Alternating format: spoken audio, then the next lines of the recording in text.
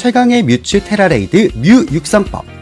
먼저 이번 최강의 뮤츠를 잡기 위해 이상한 소포에서 get your Mew 코드를 입력해서 뮤를 받아두도록 합시다. 그런 다음 뮤의 레벨은 100으로 만들고 테라 속성은 벌레로 만들어 줍시다. 노력치는 체력 252, 공격 252, 그리고 나머지는 스피드를 올려주도록 합시다. 성격은 공격은 높여주고 특공은 낮춰주는 고집으로 할게요. 지닌 물건은 조개 껍질 방울을 건네주도록 합시다. 그리고 딜러로 뮤를 사용하실 분들은 기술 배치를 벌레의 저항, 흡혈, 칼춤, 생명의 물방울 정도로 해두시면 좋겠네요.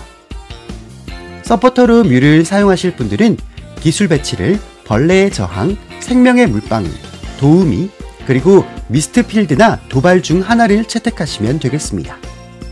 혹시나 혼자서는 도저히 못하겠다 하시는 분들은 댓글에 남겨주시면 허구가 라이브 방송을 통해 함께 잡아드릴게요.